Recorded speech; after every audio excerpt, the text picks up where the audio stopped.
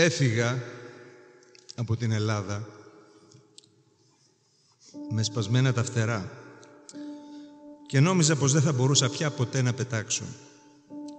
Όλοι γύρω μου με θεωρούσαν ως ένα ναυαγισμένο ιδεοπαθή και άρχιζα σιγά σιγά να το πιστεύω κι εγώ ο ίδιος.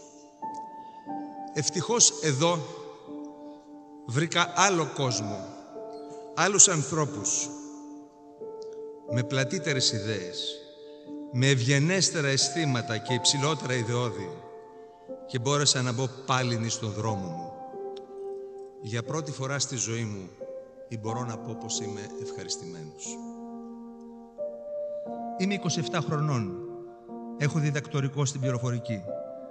Έχω πρόταση να δουλέψω στον Καναδά. Θέλω όμως να μείνω στη χώρα μου.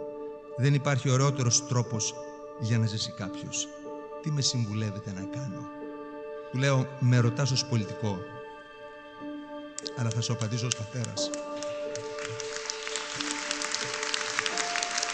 Φύγε αγόρι μου, όσο πιο μακριά μπορείς. Μακριά από το τέρας του κρατισμού που θα σε καταπιεί. Γιατί εμείς θα μείνουμε εδώ για να το νικήσουμε το τέρας. Γι' αυτό Γι' αυτό είμαστε σήμερα εδώ. Όχι για τις επόμενες εκλογές, αλλά για τις επόμενες γενιές. Πασχίζουμε για την εποχή που οι Παπα-Νικολάου του μέλλοντος θα βρίσκουν ανθρώπους με πλατιές ιδέες, ευγενή αισθήματα και υψηλά ιδεώδη στην ίδια τους την πατρίδα και δεν θα χρειάζεται να τα ψάχνουν στην άλλη άκρη του κόσμου.